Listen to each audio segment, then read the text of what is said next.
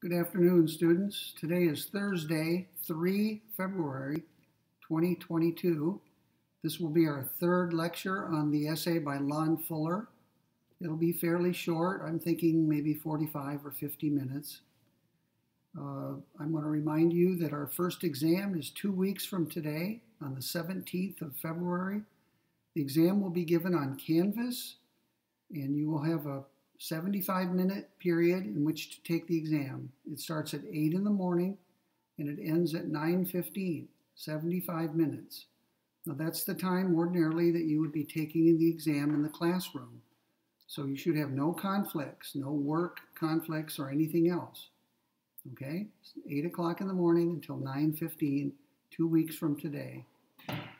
Um, as far as postings go on Canvas, I think the only thing I've put up since we met a couple of days ago is a one page uh, reconstruction of the argument by Stephen Wise that we'll be discussing starting next week on Tuesday.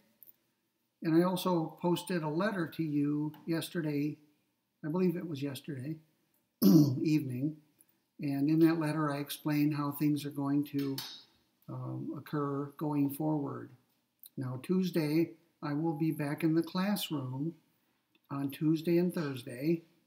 And because I have a, a student or more than one student who has who cannot be in the classroom, I've decided I'm going to continue with the recorded lectures for the rest of this month. But on the 1st of March, I plan to be back in the classroom lecturing live with no recorded videos at that point. So a few more days of videos Yes, I will be in the classroom, but I will not be lecturing. That would be repetitive. I'm not going to lecture both um, on recording and in the classroom. It's going to be one or the other. So for a while there will be recorded lectures and then on the 1st of March I will be lecturing live in the classroom. By which time the student or students will be ready to go back. Okay, so let's get back to where we left off in the essay by Lon Fuller. And let me remind you that you should start reading the essay by Stephen Wise. We'll get started on that uh, next week. so my lectures next week, the two recorded lectures will both be on Stephen Wise. Okay, so let me turn to my lecture notes. You can follow along if you'd like. I'm going to begin on page 8 of my lecture notes. Today we'll be discussing the opinions of two justices, Justice Keen, that's K-E-E-N, and Justice Handy. And then I'll have a few concluding thoughts about the essay and about the case. Now, Justice Keen is a soulmate of, Ju of Chief Justice Truepenny.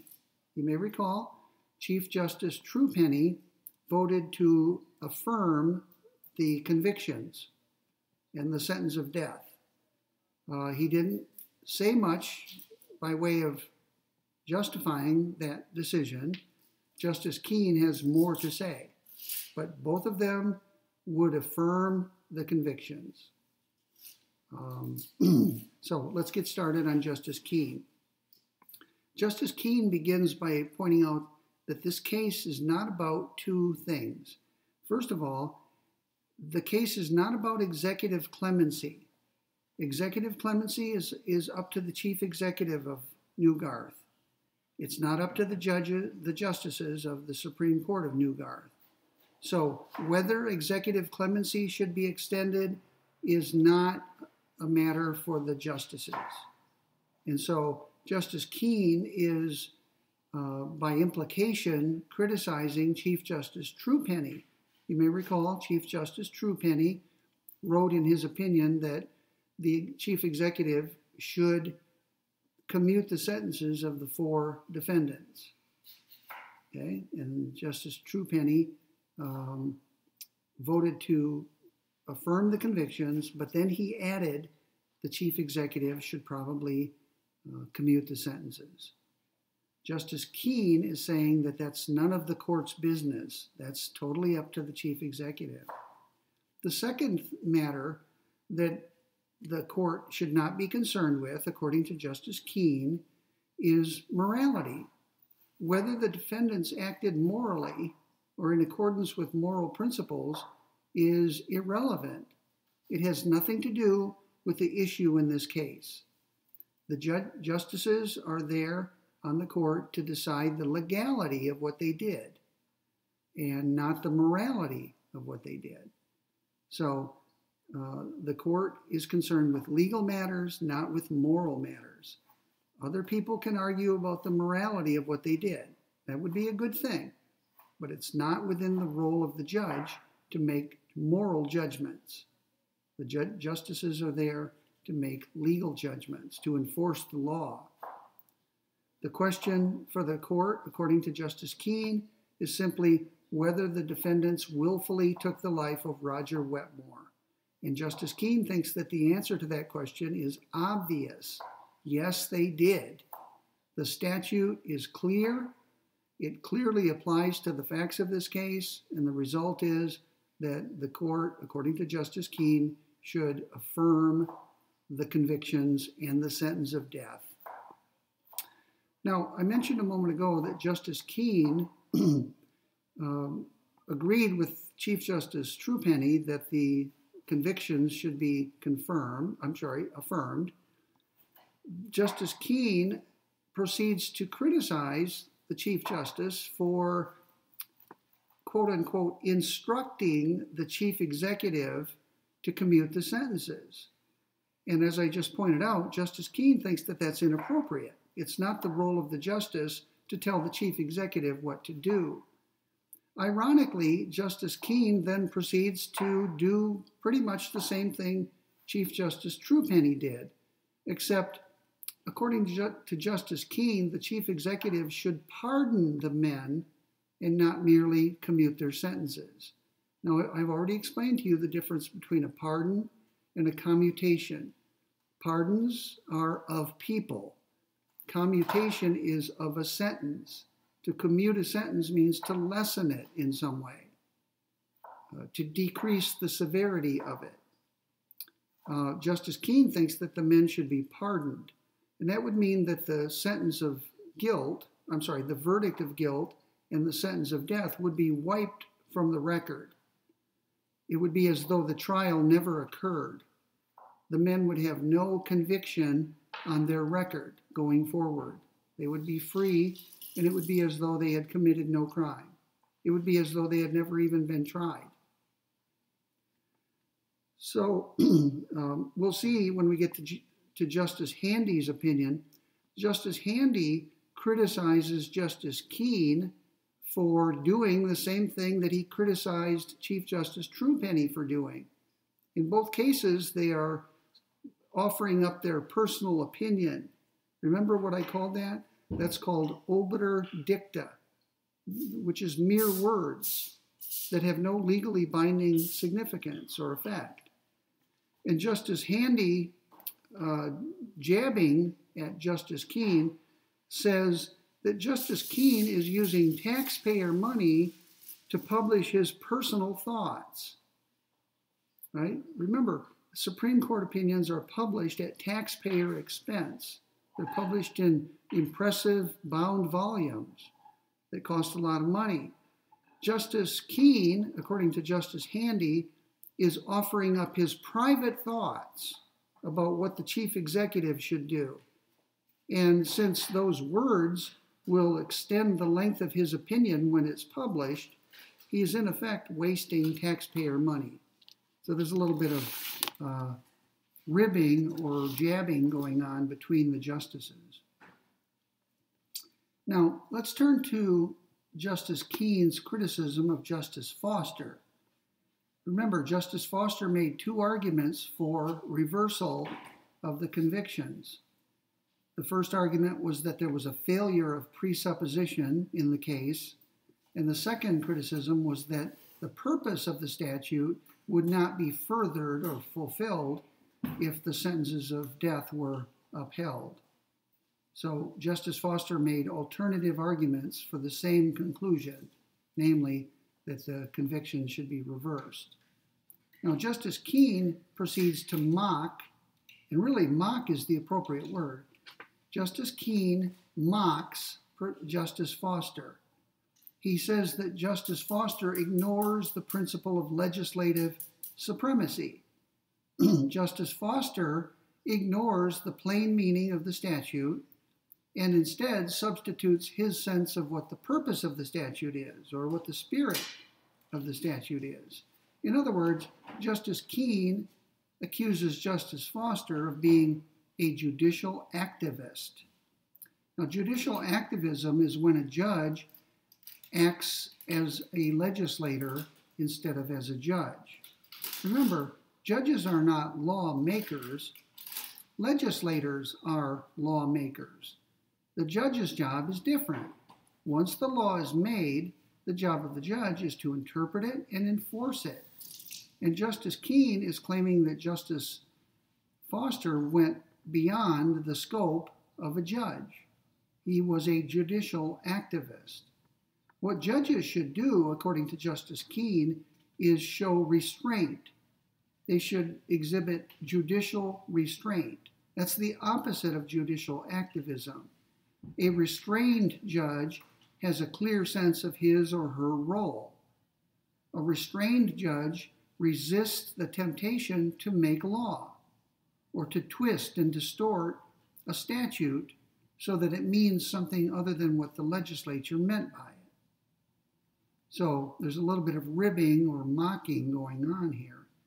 He says, Justice Keen says that judicial restraint means not allowing your personal predilections to come into play. Those are his words personal predilections.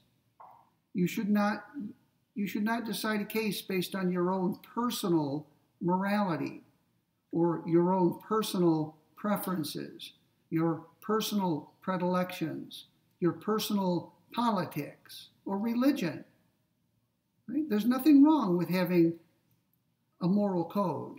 There's nothing wrong with having religious beliefs. There's not or, or not having religious beliefs. All of that is fine.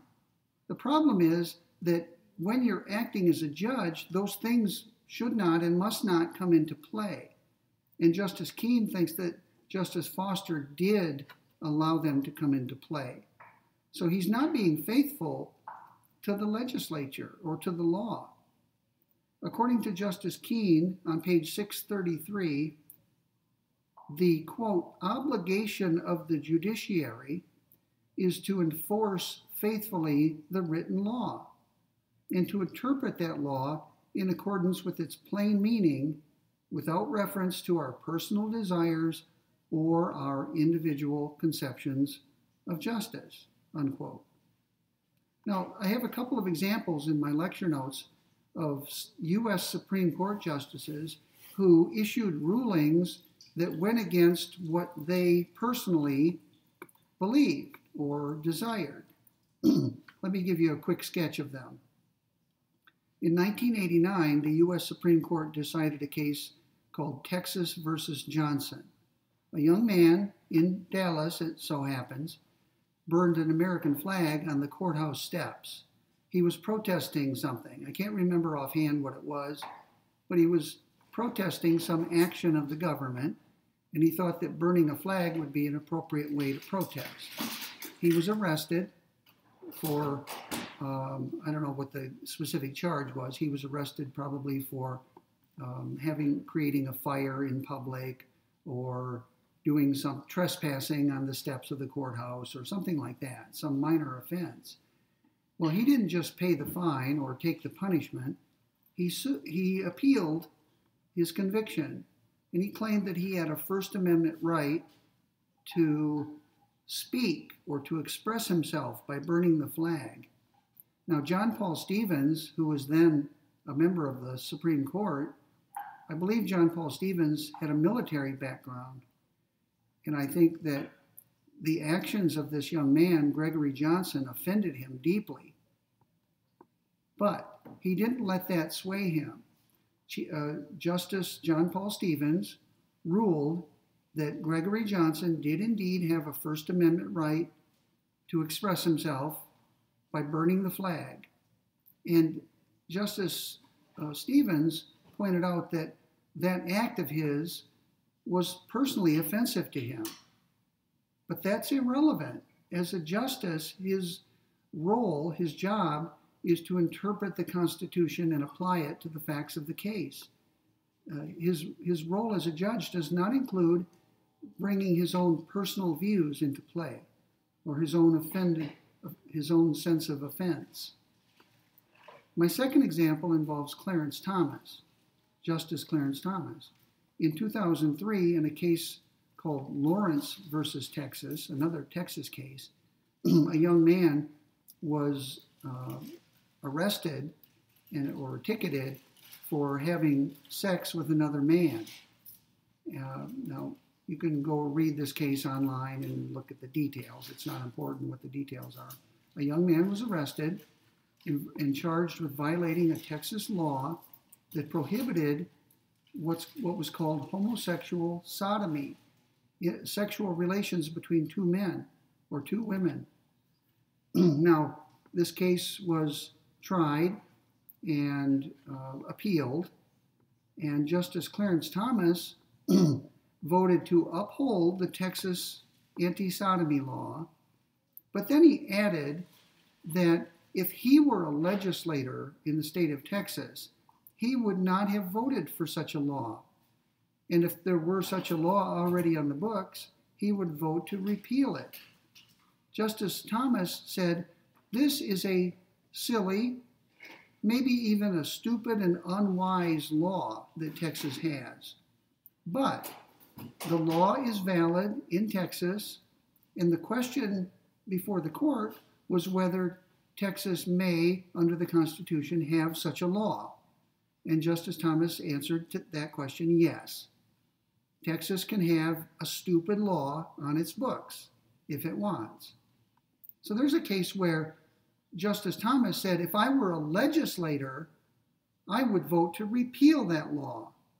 But I'm not a legislator, I'm a justice of the Supreme Court. My job is different. I'm not a lawmaker, I'm a judge. And as a judge, my job is simply to compare the Texas law, however stupid I think it is, compare it to the Constitution and see whether the Constitution prohibits it. And in my judgment as a judge, it does not. So there you have two cases where a judge on the U.S. Supreme Court, a justice, had a different personal view of some matter than his or her judicial view or view as a judge.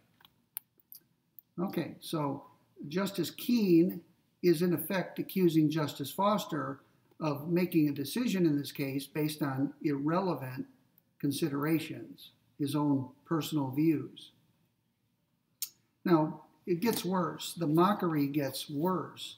Justice Keen, if you look at page 634, makes fun of his colleague, Justice Foster.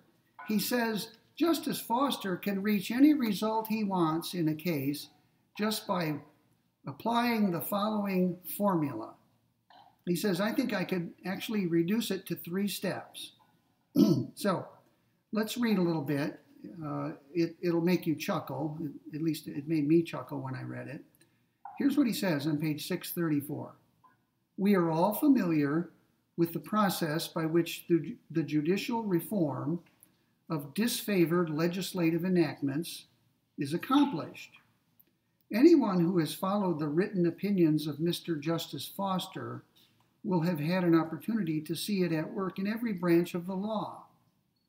I am personally so familiar with the process that in the event of my brother's incapacity, I am sure I could write a satisfactory opinion for him without any prompting whatever, beyond being informed whether he liked the effect of the terms of the statute as applied to the case before him. so, up till now, Justice Keen is saying, I could, if you told me what result Justice Foster wanted, I could write the opinion in support of that judgment because I've seen him do it over and over again. And here's how it goes the process of judicial reform requires three steps. the first of these is to define some single purpose which the statute serves. This is done although not one statute in a hundred has any such single purpose, and although the objectives of nearly every statute are differently interpreted by the different classes of its sponsors. The second step is to discover that a mythical being called the legislator, in the pursuit of this imagined purpose, overlooked something or left some gap or imperfection in his work. Then comes the final and most refreshing part of the task, which is, of course, to fill in the blank thus created. Quod erat faciendum. Now, that's a Latin phrase that means that which was to be done. So, Justice Keen is mocking or making fun of his fellow justice, Justice Foster. He's saying that Justice Foster isn't showing proper fidelity to the law. He makes up his mind who should prevail in the case. He then ascribes a purpose to the legislation, to the law. He then finds that the purpose is not fulfilled by, by applying the law in a certain way. So he adds something to the law and lo and behold, when you put that in there, you get the result that Justice Foster wanted for other reasons. Justice Keen is accusing of Justice Foster of what I called earlier result oriented jurisprudence. He's accusing Justice Foster of making up his mind who should win on the basis of personal, moral, political, or perhaps religious reasons, and then coming up with a judicial rationale or justification for that decision or judgment. So he's accusing his justice of his fellow justice of being result oriented. And that, of course, is disreputable. You should not do that if you're a judge. Okay, what else do I want to say about Justice Keen? Uh, he points out that it's the job of the legislature of Newgarth to make law if the Supreme Court of Newgarth rules that this statute does not have an exception built into it, then the legislature may take it upon itself to amend the law. The legislature can add, next time it meets, it can add a subsection to this section of the law specifying that if someone killed another out of necessity, then that person does not run afoul of the law. The law does not apply in that case. It's up to the legislature to do that, not to a judge or justice on a court. So, in a way, the court can force the legislature to be more specific over time. The court lets the legislature know we are not going to fill in any gaps. If you leave holes in the statutes that you enact, we're not going to fill those holes. That's your job. And there may be results that are unfortunate, as there are in this case. So Justice Keen's attitude seems to be we must apply the law as it's written. That means affirming the convictions of these four defendants. That means affirming their death sentences.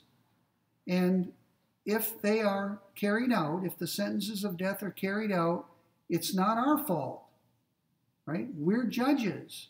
It's, if anyone's fault, it's the fault of the legislature for letting it happen. The legislature wrote a law that covers their behavior. And the legislature could have written an exception into the law that would let these four defendants go free. So Justice Keen is passing the buck, isn't he? He's saying that the job of the judge is limited. And if these four men are put to death, the fault or blame lies with the legislature, not with us, not with the justices of the Supreme Court. Now that seems harsh, doesn't it? Uh, to pass the buck like that. But Justice Keen has a clear sense of his role and his duty as a justice, and he will not be swayed to do things uh, to save these men. And that's why he's so critical of Justice Foster. He thinks that Justice Foster is doing somersaults, judicial somersaults, to save the lives of these men. Okay, one more opinion and we'll be done with this case. this opinion is by Justice Handy. It's the longest opinion of the five. It goes on for eight pages, but our discussion of it will not take long because, according to Justice Handy, this is an easy case. It's a clear case. These defendants, in Justice Handy's view, are innocent. They did nothing wrong, and it would be a travesty of justice if they if their convictions and sentences of death are allowed to be carried out. If the conviction is upheld and the sentences are allowed to be carried out. Justice Handy says that the other justices are engaged in logic chopping, which implies that they're just machines, mechanically applying the law as it's written to the facts of the case and deducing a conclusion. Notice, deducing is a type of reasoning. It's de- deduction, where you have a major premise, a minor premise, and from them follows a conclusion necessarily. So, Justice Handy is in effect accusing uh, his colleagues, Justice Truepenny and Justice Keen, of engaging in what's called logic chopping. And that's a disreputable thing. Let's read a little bit from page 637 to give you a flavor for uh, what Justice Handy is saying. He said, he's saying, um, I will go farther and say that not only are the principles I've been expounding those which are soundest for our present conditions, but that we would have inherited a better legal system from our forefathers if those principles had been observed from the beginning. For example, with respect, oops, I'm sorry, I'm reading the wrong part. I have different highlights on this page, and I meant to be reading the second highlighted portion. It took me a few words to realize I was reading the wrong thing. Sorry. Here is Justice Handy from a little bit lower on page 637. He says, The problem before, oops, I'm sorry. I have listened with amazement to the tortured ratiocinations to which this simple case has given rise. Now, that's an old fashioned word, ratiocinations. It just means reasonings. So he's saying, my my colleagues are engaged in tortured reasoning. He says, I never cease to wonder at my colleagues' ability to throw an obscuring curtain of legalisms about every issue presented to them for decision.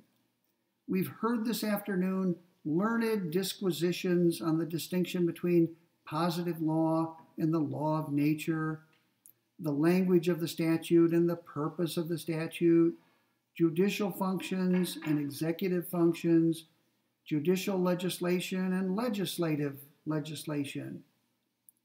And he goes on to continue mockery. But what he's saying is at least two of his fellow justices, Truepenny and Keen, are engaged in what he calls tortured reasoning to arrive at certain results. And that, of course, is disreputable, according to Justice Handy. Needless abstractions. Really, this case is simple, according to Justice Handy. It's a matter of practical wisdom. What should we, the justices of the Supreme Court of Newgarth, do with these defendants? These defendants. Not defendants in general, but these four particular men who were convicted and sentenced to death. According to Justice Handy, the result, intuitively speaking, is clear. These men did nothing wrong. They certainly didn't do something so wrong that it warrants the death penalty, which is prescribed by statute. What the court should do is resort to the sentiments of the common man or woman. The court should look at public opinion. The court should use common sense and act accordingly. Those are the sorts of things that a justice should bring to bear in deciding a case. The court should strive to be efficient.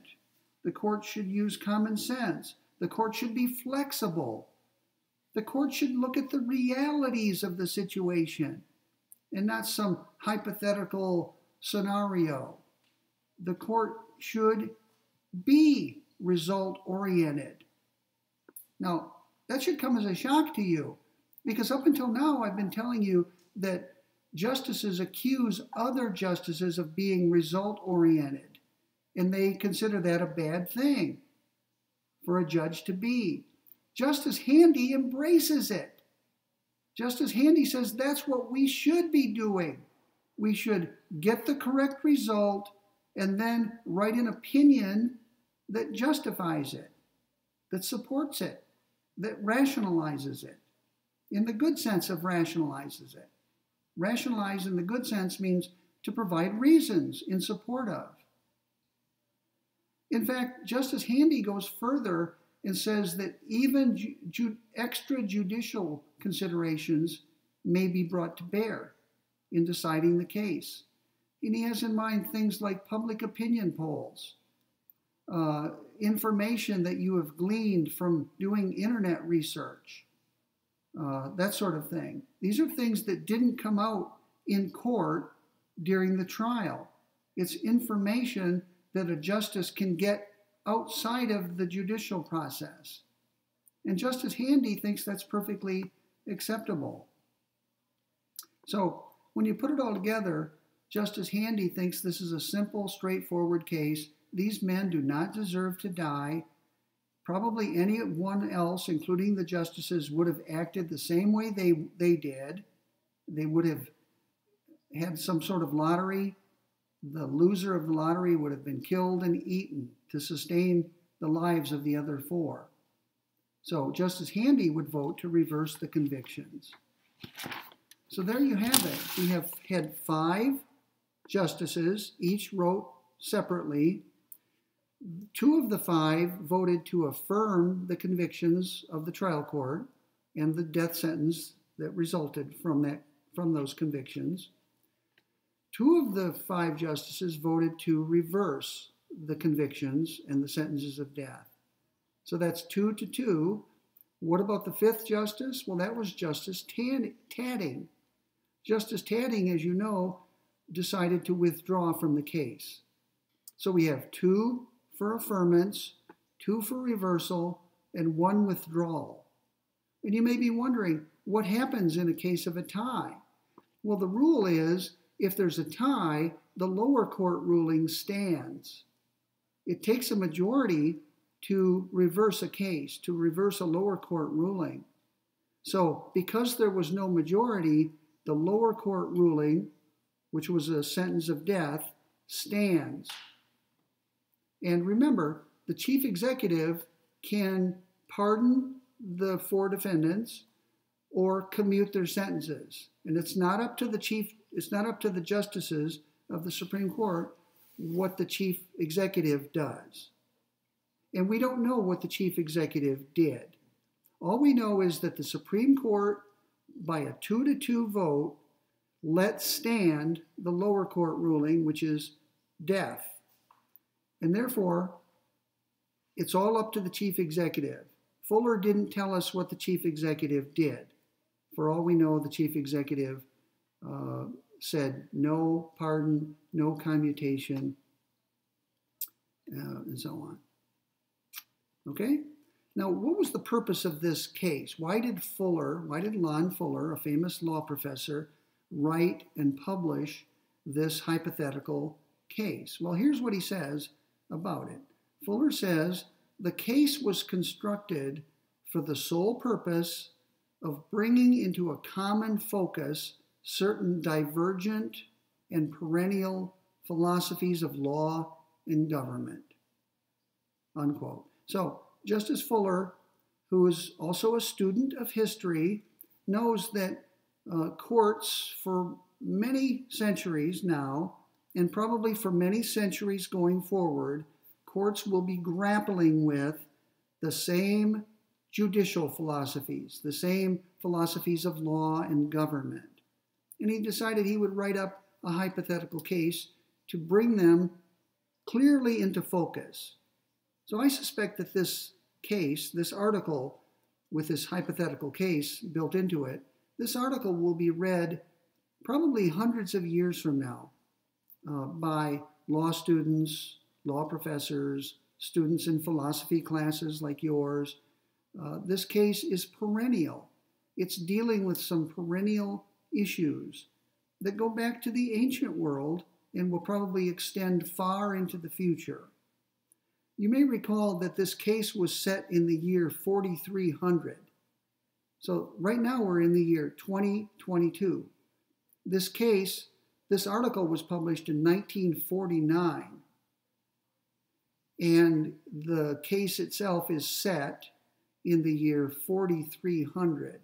Why did Fuller pick that year? There's actually a reason for it.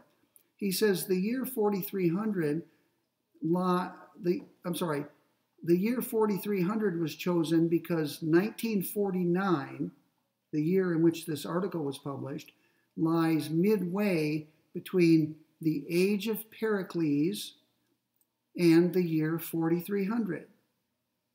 Now, you may not know what that means. Pericles was a statesman in ancient Greece, a very famous military leader and statesman. Pericles lived between 495 and 429 BCE, which means before the Common Era. Okay, so Pericles lived before Socrates, before Plato, before Aristotle. Pericles was a great statesman. There's a funeral oration that was written by Pericles and delivered at his funeral. You can find it online and read it if you'd like.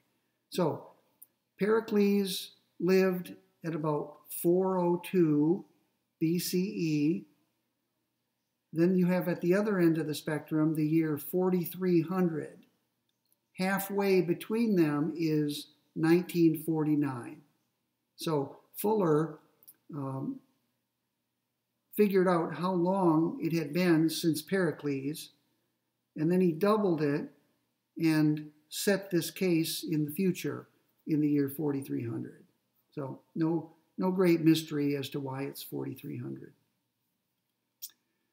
Um, final thought, is there some way to help you remember the judicial philosophies of these five justices? I got to wondering that myself a few years ago, and I hadn't seen anybody write about it or speculate about it.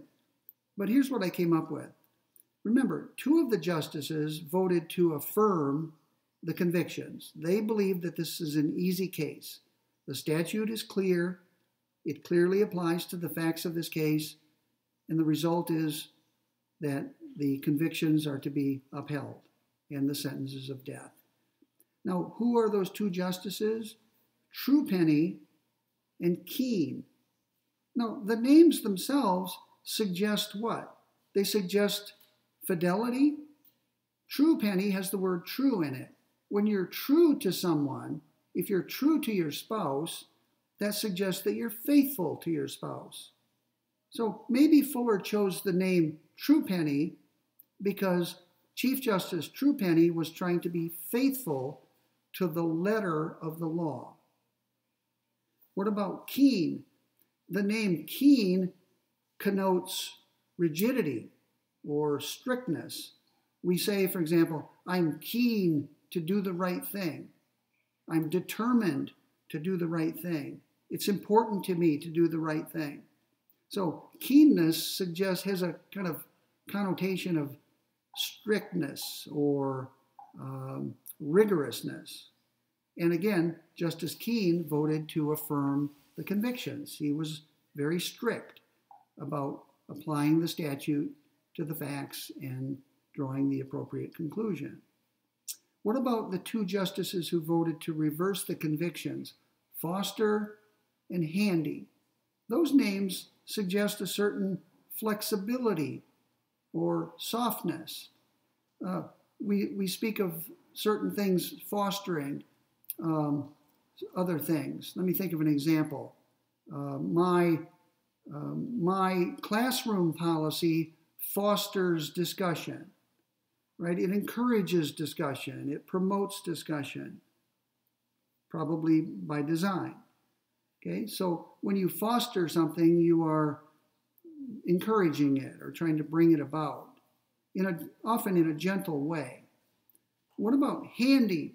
We, we describe people as handy. I'm, I'm handy around the house.